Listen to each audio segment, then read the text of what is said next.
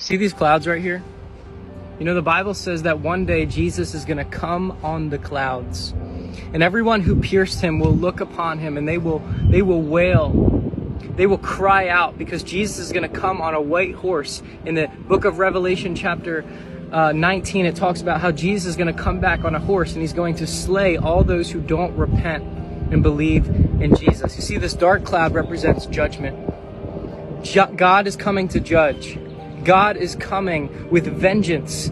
His reward is with him. He's going to repay everyone according to their deeds. Those who rejected Christ will suffer in the lake of fire, but those who believe in Christ, oh man, I'm telling you, they're going to be caught up into heaven. They're going to be with the Lord in the air. They're going to be safe from the tribulation, safe from the judgment where Jesus is coming on this white horse and a sword's going to come out of his mouth and destroy the wicked in one blast, in one moment. Just as God created the heavens and the earth with one spoken word, all sinners will be destroyed with one word. Are you ready for God's judgment? The day of the Lord is coming soon, and it's going to be like a dark, gloomy day because the wicked are going to be destroyed.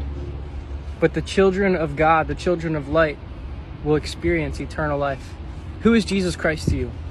Do you believe in the Lord Jesus Christ, or have you rejected him? I encourage you to repent and believe in Jesus and be saved.